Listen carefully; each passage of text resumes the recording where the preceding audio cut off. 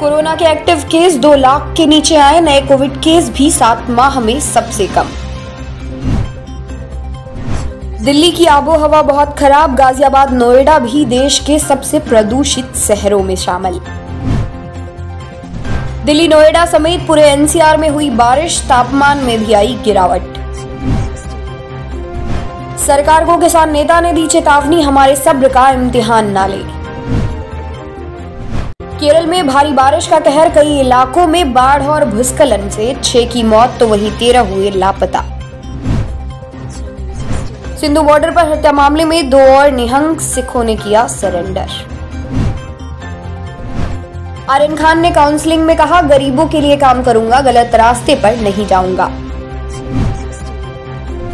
मोहन भागवत ने कहा, अनुच्छेद 370 रद्द करने से भी जम्मू कश्मीर की समस्या का नहीं हुआ समाधान।